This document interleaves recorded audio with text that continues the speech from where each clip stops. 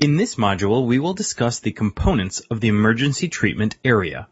This will help the hazmat awareness level trained person to know which areas to avoid to minimize any potential exposure to a hazardous material in the decontamination area. Key questions we'll cover How do we secure the hospital in a mass casualty event?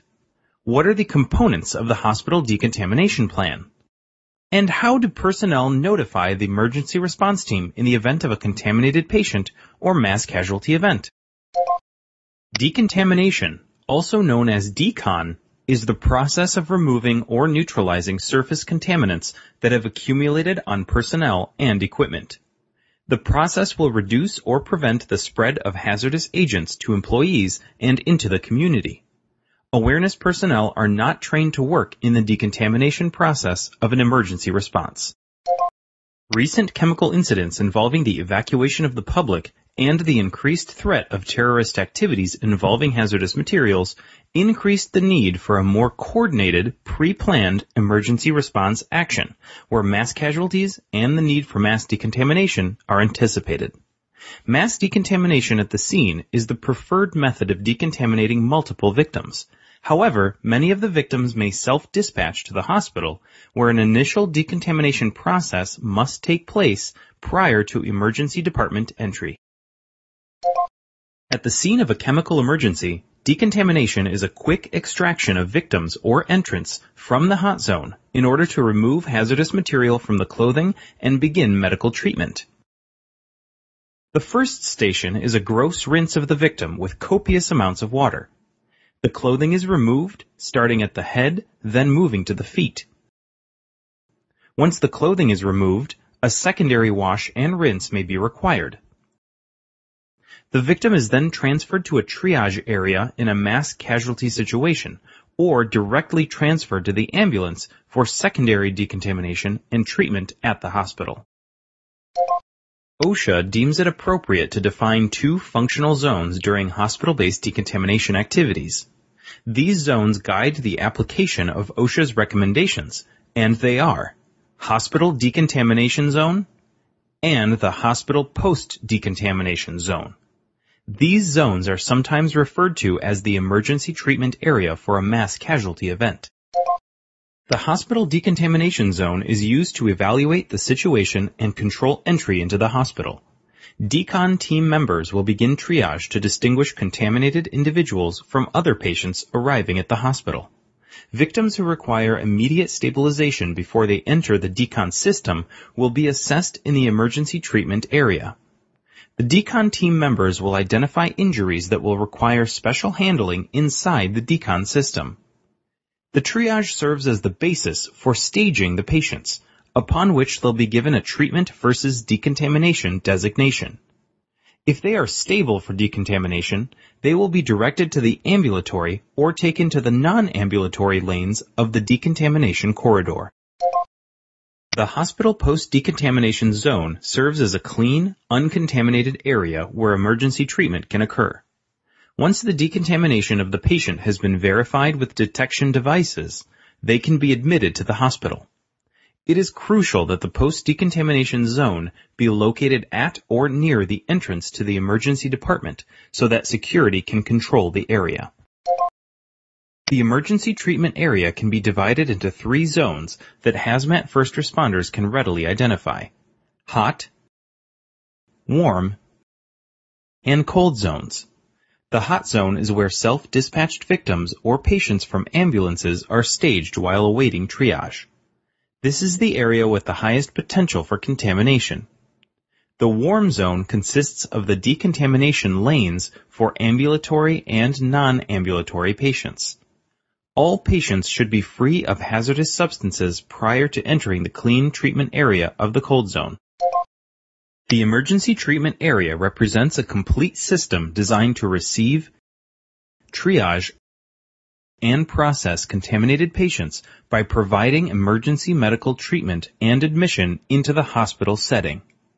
The emergency treatment area includes pre-decontamination waiting or staging areas for victims, the actual decontamination area, and the post-decontamination victim inspection area. This area will typically end at the emergency department door. All unauthorized or untrained personnel should avoid the staging area for victims and the decontamination area.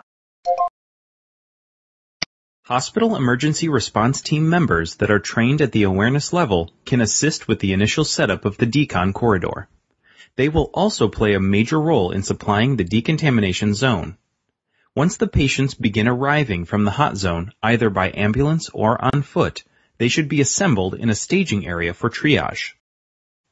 Only life-saving treatment is performed in the emergency treatment area, with all other patients triaged, classified, and logged in prior to entry into the ambulatory or non-ambulatory decon lanes. The exterior clothing is either removed by the patient or cut off by the decontamination worker. A series of wash and rinse stations will remove any chemical that has permeated clothing onto the skin or has contacted the eyes. Personnel use detection equipment to verify the decontamination process before processing the patient into the post-decontamination zone. The most neglected function in a response to a chemical release inside a hospital is the evacuation and isolation of the spill area from employees and bystanders. Likewise, it is a challenge for even the largest facilities to establish the decontamination and treatment areas and effectively secure those areas from unauthorized personnel. Site security helps maintain order and control traffic around the decontamination facility and the hospital entrances. Security officers might need to control a contaminated individual to prevent other staff from being exposed and to protect equipment. Security officers also ensure contaminated victims do not bypass the decontamination hospital or enter the emergency department without passing inspection.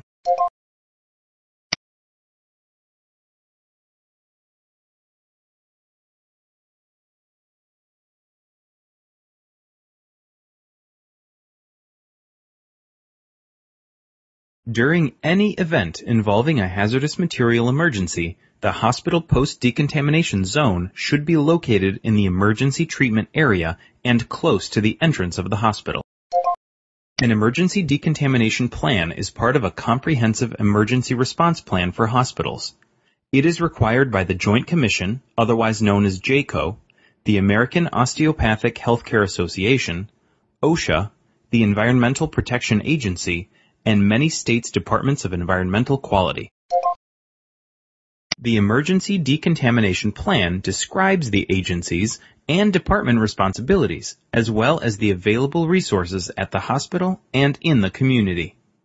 The plan should detail the procedures to be followed in dealing with contaminated people and equipment with a special emphasis on self and buddy decontamination. Once the hospital receives notification of a contaminated person, the emergency decontamination plan should identify exactly who must be notified. Clinicians and other hospital staff that have a role in receiving and treating contaminated patients should be activated or placed on standby. Since the hospital is far from the incident, the exposure of first receivers is limited to the amount of contaminant on the victims, their clothing, and personal effects. Setting up decontamination operations involves establishing the decon zone with access to decon supplies. Staff should assemble the decon shelter and decon equipment. Runoff from the decon operations should be containerized and disposed of in accordance with local, state, and federal regulations. The specialized decontamination response team members will have more advanced training enabling them to perform the decontamination of arriving patients. Awareness-trained personnel may assist those members to ensure safety of the facility and other personnel, and to help set up the decontamination operation area by establishing the decontamination zone, ensuring access to supplies, and assembling the necessary decontamination equipment. Only the decontamination response team members should be performing triage and the actual decontamination of patients. Typically, these team members will also clean all the equipment, manage the wastewater, and participate in the team debriefing.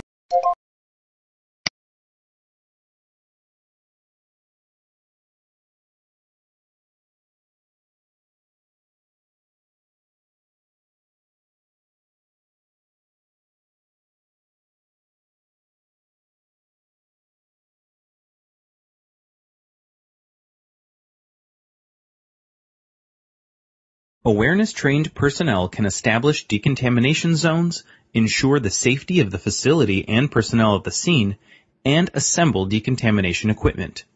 In order to perform triage, more advanced training is necessary. The decontamination plan should clearly identify the hazard control zones so that workers have a safe work environment and patients observe a clearly defined, well-organized structure for addressing their injuries. Safety is paramount. All of this can be achieved by limiting access to the hospital grounds and having an overall security plan for the entire hospital and for the removal of hazardous waste from the premises. Awareness trained personnel need to understand their role in the emergency treatment area. As we talked about, these personnel can assist the decontamination and triage workers while avoiding those areas that may require additional protective clothing. Knowing the decontamination plan and their role in activating the hospital emergency response team members is crucial for trained personnel to minimize the impact to a healthcare facility.